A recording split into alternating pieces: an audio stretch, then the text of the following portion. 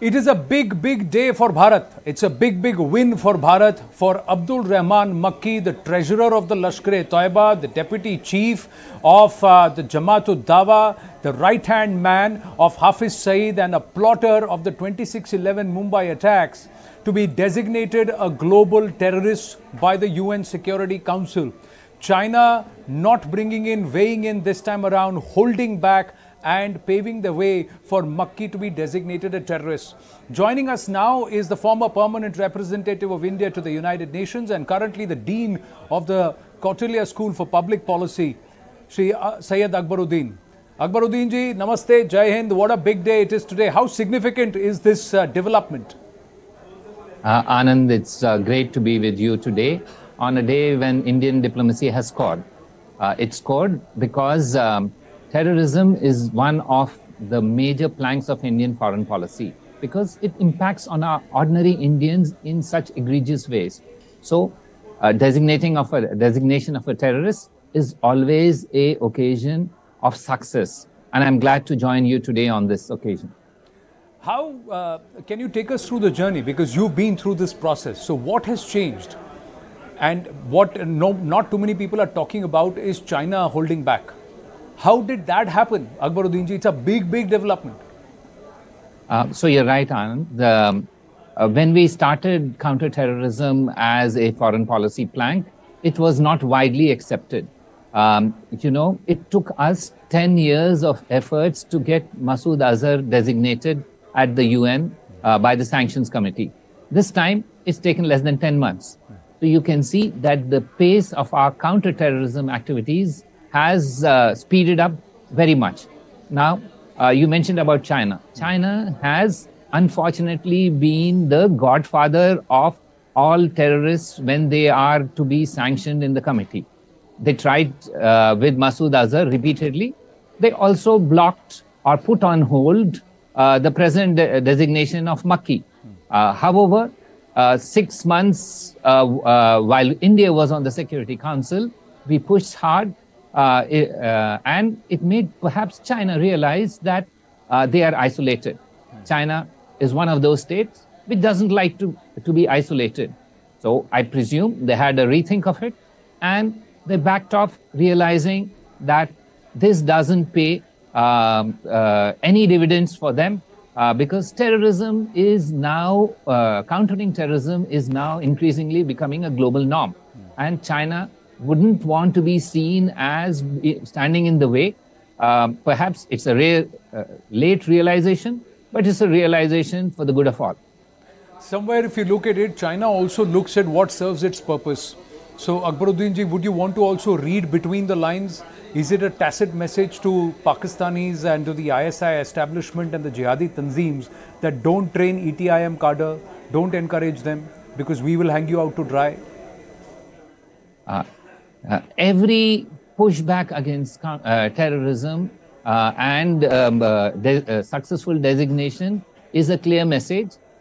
China is realizing this very quickly they delayed something for 10 years, now for less than 10 months. Hopefully, next time it'll be on schedule.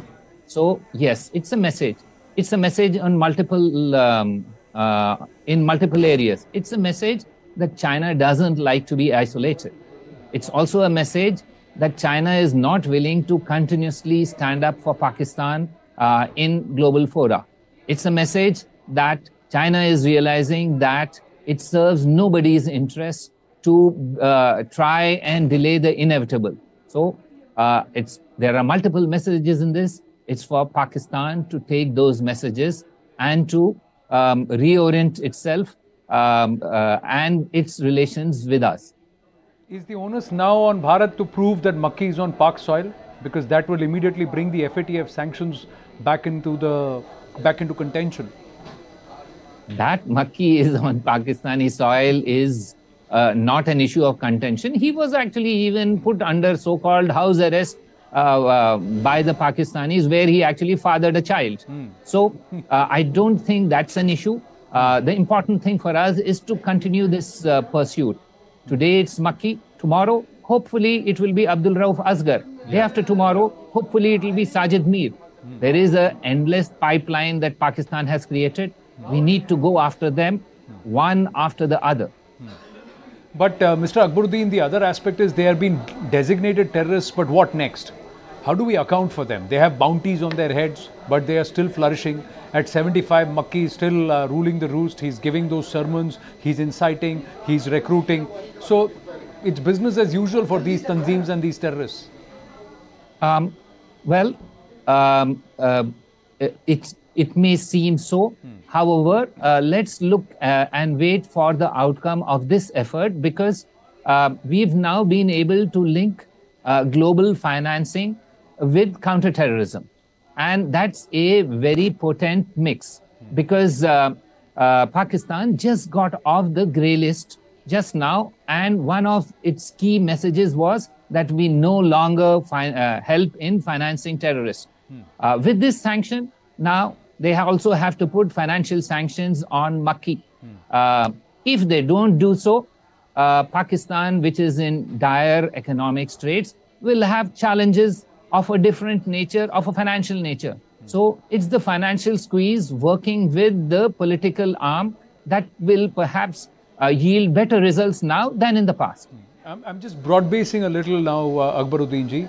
Uh, India Pakistan current scenario, Pakistan uh, cornered from all sides, nowhere to run, nowhere to hide, financial doldrums, epicenter of terror, people in distress, civil war like situations, two provinces on the verge of balkanization, and then Shehbaz Sharif suddenly softens his tune. And, but they still can't drop this Kashmir rhetoric. Um, yes, but rhetoric is that much, and we don't need to look too much at Pakistan. It is yesterday's problem we have uh, better uh, goals to fulfill. Uh, we shouldn't focus too much on Pakistan. Yes, we need to continue to put pressure. We need not um, um, uh, uh, respond to their um, uh, assiduous request towards us, but our focus is at the globe now. We are now the G20 president. We need to engage the North and the South. We need to be the bridge builder between East and the West um, 2023 is India's breakthrough here. So let's focus on bigger issues. Uh, hopefully, Pakistan and China realize that uh, yesterday's weapons are no longer in and uh, stop using them. Otherwise, we have other ways of handling them, and that need not be said. What are the other ways? Between 2016 and 2022, has India engineered a very, very uh, significant and dynamic shift in its strategic posture, geopolitically, diplomatically? Diplomatically, yes. Uh, we certainly today are not the India of the past. Uh, we have been able to, uh, both on account of a strong leadership and on account of our uh, economic prowess, are a big player on the global scene compared to what we were some years ago. Uh, it's our time now. The world is watching us.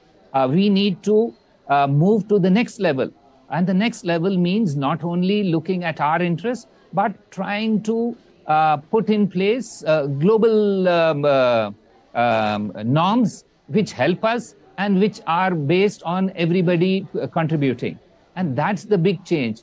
A middle power usually can pursue its interests, hmm. but a big power is one which not only pursues its interests, but marries its interests with global interests. And that's what India is looking at in 2023. A top journalist in Pakistan and a top uh, newspaper has carried it on their front pages broadsheet. Uh, where he's saying, look what uh, China and India have become and where Pakistan is. They have credited Prime Minister Narendra Modi, they have credited India that it's able to say and do what it wants up to a certain level bordering on arrogance today. They've quoted that we continue to import oil from Russia, we continue to uh, be a bridge for their oil exports to other nations, and we are doing it uh, with uh, aplomb and with some gumption. Is this uh, an understanding of the world? And if your enemy realizes that you are strong, is that a larger message there, Akbaruddin ji? Um, uh, Anand, um, it's better late than never for Pakistan that it realizes that India has moved by leaps and bounds. It's moved to the next level. If Pakistan wants to um, benefit from India, uh, there are other ways of doing it. But its policy is today lying in shambles. It's a country in economic uh, strife. Uh, it is politically unstable. Um, but be that as it may, it's, uh, it's a neighbor. Uh, they will handle them themselves. Let's focus on the future. Pakistan is India's yesterday's problem. Uh, we need to focus on the future. And by all accounts, including by those in the Pakistani press, our future seems to be much better with a committed leadership un- under Prime Minister uh, Narendra Modi ji and an economy which is uh, booming. The young are taking opportunities. This is our time. We need to capitalize on it. And 2023 uh, will hopefully be India's breakthrough year in terms of diplomacy. Well, uh, we're looking forward to that final question strategic autonomy. Uh, is this going to come at a huge diplomatic cost for us, or are we managing ourselves ably? Because we are holding a mirror to the West, we are holding a mirror to Europe, we are, we are holding a mirror to nations which in the past have thought that they can get away with bullying us diplomatically. True. The India of the uh, second or the third decade of the 21st century is a different kettle of fish. Um, it's pretty clear that uh, we've been able to navigate the shoals of geopolitical um, differences. Uh, yes, uh, we have uh, done this uh, purely by holding our nerve. Uh, in situations of crisis, those countries which hold their nerve, those countries who have a strong leadership, willing to take risks, uh, do succeed, the others fall back. And that's what we are saying. I don't see that there is a diplomatic price to pay because the trajectory of our ties with the West continues to grow. Even as we consolidate our ties with Russia, uh, we have not um, abandoned our ties with the West. They are an important source of um, uh, investment to us, of best practice to us, and we continue to engage with them at our uh, in a way that we choose to do so. Go- uh, and let's be clear that the India of the present present day India or the new India uh, is ready to take on more responsibilities, but also in a very calibrated manner engages with all across the globe because our interests are varied. It's no longer one limited interest. We have interests with the West as well as the East. How, how much would you credit Prime Minister Narendra Modi for this shift over the last eight years? Well, obviously, the Prime Minister thinks big. He's made us all think big. Um, I remember from the days when I first engaged with him, uh, when he became Prime Minister, he always used to urge us to start thinking big. Uh, countries like ours need to think big, uh, to uh, uh, think boldly, and not. Uh, there is always a small little risk when you do these things, but it's important uh, that we uh, act like a billion plus country and a country uh, which is committed to the welfare of its people and global good too. Akbaruddin ji, always a pleasure to speak with you. We should do this more often. Thank you very, very much for making the time. Thank you very much, Anand. We're going to take a very, very short break on that note. Stay with us here on CNN News 18.